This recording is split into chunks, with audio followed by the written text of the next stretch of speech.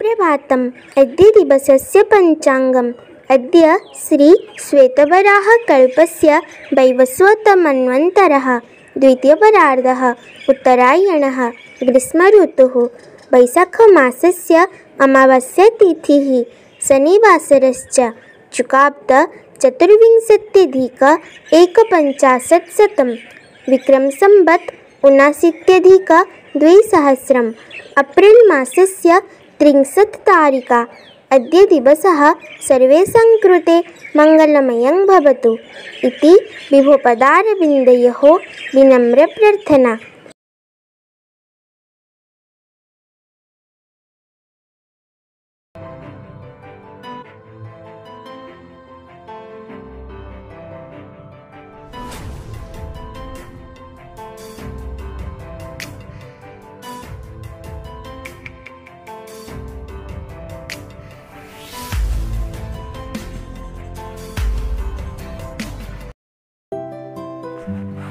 ପରାଧୀନ ଭାରତବର୍ଷ ଇଂରେଜମାନେ ଭାରତୀୟମାନଙ୍କୁ ଗୋଲାମ ଭାବରେ ରଖି ଦେଶକୁ ଶାସନ କରୁଥାନ୍ତି।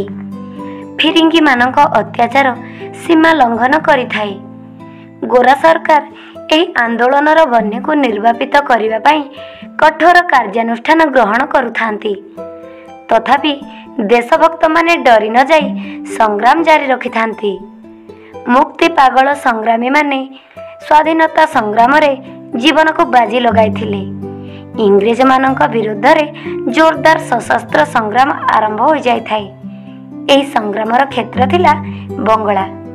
ସେଦିନ ଇଂରେଜ ନ୍ୟାୟାଧୀଶ କାର୍ନଡେଫ୍ ଏକ ସଙ୍ଗୀନ ମାମଲାର ଚୂଡ଼ାନ୍ତ ରାୟ ଶୁଣାଉଥାନ୍ତି। ତାଙ୍କ ସମ୍ମୁଖରେ କାଠଗଡ଼ାରେ ଠିଆ ହୋଇଥାନ୍ତି ଜଣେ ଦର୍ପିତ ଯୁବକ। ନ୍ୟାୟାଧୀଶ ରାୟ ଶୁଣାଇଥିଲେ କଠୋର ସଜ୍ଜା ମୃତ୍ୟୁଦଣ୍ଡ। ଫାଶୀ ଦଣ୍ଡାଦେଶ ଶୁଣାଇ ନ୍ୟାୟାଧୀଶ ଯୁବକ ଆଡ଼କୁ ଅନାଇ ଦେଖନ୍ତି ତ ଆଶ୍ଚର୍ଯ୍ୟଚକିତ ହୋଇଯାଇଥିଲେ। ଅତି ଅବିଶ୍ୱସନୀୟ ଦୃଶ୍ୟ ସେ ଦେଖିଥିଲେ। ଫାଶୀ ଦଣ୍ଡାଦେଶ ଦିଆଯାଇଥିବା ଯୁବକଙ୍କ ମୁହଁରେ ହସ ଚେହେରାରେ ପ୍ରସନ୍ନତା ଭାବ। ନ୍ୟାୟାଧୀଶ ମନେ ମନେ ଭାବିଲେ ବୋଧହୁଏ ଯୁବକ ଜଣଙ୍କ ତାଙ୍କର ଦଣ୍ଡାଦେଶ ସମ୍ପର୍କରେ ଶୁଣି ପାରିନାହାନ୍ତି ଏହା ଭାବି ସେ ପୁଣି ଥରେ କହିଥିଲେ ଯୁବକ ତୁମେ କ'ଣ ଶୁଣିପାରିନାହଁ ଜଣେ ପୋଲିସ ଅଧିକାରୀଙ୍କ ଉପରକୁ ବୋମା ଫିଙ୍ଗିବା ଅପରାଧରେ ତୁମକୁ ଫାଶୀ ଦଣ୍ଡାଦେଶ ଦିଆଗଲା।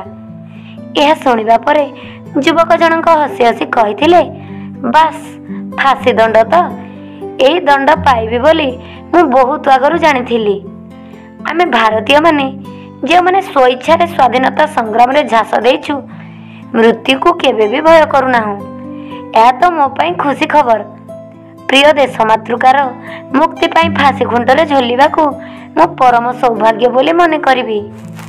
ଏହା ଶୁଣିବା ପରେ ନ୍ୟାୟାଧୀଶ କହିଥିଲେ ତୁମକୁ ଉଚ୍ଚ ନ୍ୟାୟାଳୟରେ ଆବେଦନ କରିବା ନିମନ୍ତେ ଏକ ସପ୍ତାହ ସମୟ ଦିଆଗଲା ଏହା ଶୁଣି ଯୁବକ ନିର୍ଭୀକ ଭାବରେ କହିଥିଲେ ଏହାର କୌଣସି ଆବଶ୍ୟକତା ନାହିଁ।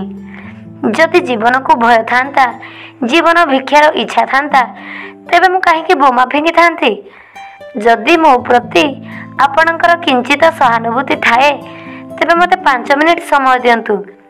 ଏହି ସମୟ ଭିତରେ ଅଦାଲତରେ ଉପସ୍ଥିତ ଥିବା ମୋର ସାଥୀମାନଙ୍କୁ ବୋମା ତିଆରିର କୌଶଳ ଶିଖାଇ ଦିଅନ୍ତି। ଏହା ଶୁଣି ନାରାଜ ନ୍ୟାୟାଧୀଶ ସେଠାରୁ ଚାଲି ଯାଇଥିଲେ। ଅଳ୍ପ କିଛି ଦିନ ପରେ ସେହି ଯୁବକ ହସି ହସି ଫାଶୀ ଖୁଣ୍ଟରେ ଝୁଲି ପଡ଼ିଥିଲେ। ଏହି ଦେଶଭକ୍ତ ଯୁବକଙ୍କର ନାମ ଥିଲା ଖୁଦିରାମ ବୋଷ। ଦେଶ ମାତୃକାର ଏହି ସୁଯୋଗ୍ୟ ସନ୍ତାନ ମହାନ ଦେଶପ୍ରେମୀ ନିଜ ଜୀବଦଶାରେ ସ୍ୱାଧୀନ ଭାରତ ଦେଖିପାରିନଥିଲେ ସତ କିନ୍ତୁ ସ୍ୱାଧୀନତା ନିମନ୍ତେ ବିପ୍ଳବର ଯେଉଁ ଦିହୁଡ଼ି ପ୍ରଜ୍ୱଳିତ କରି ଯାଇଥିଲେ ତାହା ଲକ୍ଷ୍ୟ ହାସଲ ପର୍ଯ୍ୟନ୍ତ ନିର୍ବାପିତ ହୋଇନଥିଲା